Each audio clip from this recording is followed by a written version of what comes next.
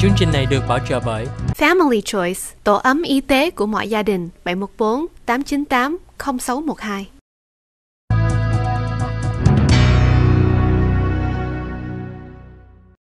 Kính chào quý khán thính giả, chúng tôi là luật sư Đỗ Hiếu Liêm. Ngày hôm nay chúng tôi trở lại với quý vị qua chương trình Người Việt luật Mỹ. Vì đây là chương trình luật pháp trực tiếp truyền hình, thành ra quý vị có thể tiếp tục à, có thể gọi vào trong đài qua cái số điện thoại trên màn ảnh của đài là 714 893 3264 714 893 3264 để đặt những câu hỏi về vấn đề luật pháp.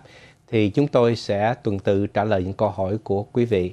Một lần nữa tôi là luật sư Đỗ Hiếu Liêm và chương trình mà quý vị đang theo dõi là chương trình luật pháp trực tiếp truyền hình mà vì mà quý vị có thể gọi về thẳng vào đài qua cái số điện thoại ở trên màn ảnh của đài thì chúng tôi sẽ tuần tự trả lời những câu hỏi của quý vị. Trong phần đầu thì chúng tôi có một cái thông báo ngắn của Đài Little Sài Gòn TV là Little Sài Gòn TV sẽ tổ chức cuộc thi bánh chưng, bánh tét và áo dài tại Trung tâm Phước Lộc Thọ vào ngày Chủ nhật 27 tháng Giêng từ 10 giờ sáng tới 5 giờ chiều. Chương trình sẽ được trực tiếp phát hình trên đài Little Sài Gòn TV channel 56.7, Galaxy 19 và trên website littlesaigontv.com. Quý vị có thể ghi danh áo dài lứa tuổi từ 16 tuổi trở lên, cả phái nam lẫn nữ và xin gọi. Xin vui lòng gọi số điện thoại là 714 979 9562 9 à, 714 979 9562. Đặc biệt là giải thưởng áo dài năm nay là từ lứa tuổi 16 tuổi trở lên thì giải nhất là 11.000 à, 1.000 đô tiền mặt. À, giải nhi là 500 tiền mặt và giải ba là 200 tiền mặt. Một lần nữa tôi lặp lại, giải thưởng áo dài năm nay rất là đặc biệt là với lứa tuổi 16 tuổi trở lên thì giải nhất đó là 1.000 đồng tiền mặt, giải nhì 500 tiền mặt và giải ba là 200 tiền mặt. Đối với các em từ 5 tới 15 tuổi thì giải nhất là 500 tiền mặt, giải nhì 300 tiền mặt và giải ba là 100 tiền mặt. Thì mong rằng quý vị à, có con em à, hay là à, có thể à, thi dự thi áo dài thì nên ghi, ghi danh ở số điện thoại là 714 979 9562 và sẽ tổ chức vào cái ngày Chủ nhật 27 tháng uh, Giêng từ 10 giờ sáng tới 5 giờ chiều tại Trung tâm Phước Lộc Thọ. Hello, giờ chúng tôi ở đây. tôi luật sư Liêm tôi ở đây. Dạ chào luật sư. Dạ xin chào cô. Dạ em nhận được một con mail thì tôi nó không có bao thư. À, nó viết là cái code, approved legal nó Rồi cái number có tùm lum bà la hết rồi sư rồi có tiếp nữa là viết tiếp là you can get a card payment and free credit monitoring and insurance service to help protect you against the possible unlawful use of your personal information that may have been taken in the appearance breach. Ok, tóm lại là sao cái thư đó là nó gửi cho em mà nó kêu em làm gì? Nó kêu em phải return cho nó vào tháng 4 ngày 11 năm 2019. Em không biết cái đây là cái gì thưa luật sư. Dạ, em um, cái thư đó là từ ai? Dạ, nó viết là PO Box.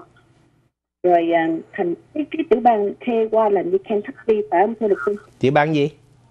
K, nó viết tắt là KY. Kentucky. Dạ, em đừng có trả lời cái đó nhé. Dạ. Em không cần trả lời cái ignore cái nó dạ mấy cái đó là mấy cái scam thôi. Em liền đi, em đừng có trả lời nhé. Dạ, Ok. thưa luật sư, um, cách đây uh, chừng vài hôm á, cái uh, credit card của em nó bị người ta dùng á, luật sư em đã cancel rồi. Rồi Dạ. đồng thời nó gửi cái thư này tới, em không biết chuyện gì cho nên em gọi luật sư á, hỏi uh, luật sư để giúp Dạ. em đó. Tốt nhất đó là em liên lạc với mấy cái nếu mà em bị mất cái credit card đó mà sợ bị người ta dùng đó và nếu nếu em cẩn thận thì em có thể liên lạc với lại mấy cái credit card không phải mấy credit reporting company như là Equifax hay TransUnion để mà xin cái credit report coi có cái người nào sử dụng cái information cái uh, dữ liệu của em để mà xin credit card nào mà em không biết hay không hay có nợ nào em không biết hay không. Nếu có thì em phải liên lạc với họ để em xin freeze cái credit của em. Còn nếu không có gì thì thôi nhé còn nếu có đó thì em phải freeze credit và đồng thời em phải ra cảnh sát để làm một cái report là em bị uh, identity theft Hả? ok Dạ. dạ cảm ơn em hello dạ chúng tôi nghe đây Dạ, chào luật sư. Dạ, Tôi xin có chào. câu hỏi về vấn đề ví dụ tài sản ở bên Việt Nam đó, dạ bố, bố mẹ cho các con đem sang đây có phải đóng thuế không? Dạ không bà, tại vì cái à, cái đó là cái tặng giữ cái cái thừa hưởng lại đó, thành ra nếu mà chuyển qua đây thì không cũng không phải đóng thuế. Dạ. À, Còn nếu mà mình tặng giữ mà ở bên Mỹ á thì với năm nay đó, nếu mà mình để lại tài sản lại cho con cháu hay người thân đó thì Dạ. cái tài sản của mình á phải trên là 11 triệu 400 ngàn thì mới có phải đặt cái vấn đề thuế thừa kế. Còn Dạ. dưới 11 triệu 400 ngàn thì không phải đặt thuế thừa kế. thưa luật sư vậy nè, thế bây giờ bố mẹ tôi để cho một căn nhà, Dạ, rồi bây giờ cái cô em tôi còn ở Việt Nam á, dạ, cô sẽ bán cái thằng bên này ủy quyền cho cô bán, dạ, rồi cô đem tiền sang chia cho mấy chị em bên này. dạ. Cô đem bằng cách nào? Dạ, đi chính thức uh, luật sư. Ok, cô đinh chính thức là không sao nhưng mà đó tức là cô mang tiền mặt á hả? Chắc là bỏ trong ngân hàng hay somehow tôi Ok, nếu mà cổ nếu mà cổ gửi đi được qua ngân hàng hay là qua cái uh, wire transfer đó thì Dạ. không thành vấn đề hay là cổ viết cái check qua ngân hàng cho bà không thành vấn đề.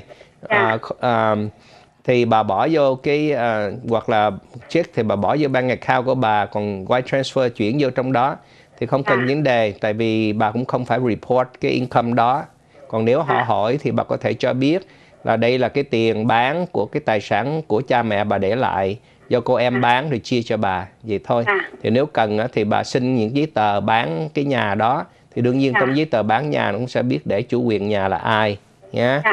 dạ dạ chứ chứ bà tôi không nghĩ là bà phải report cái cái số tiền đó để đóng thuế đâu nhé Vâng.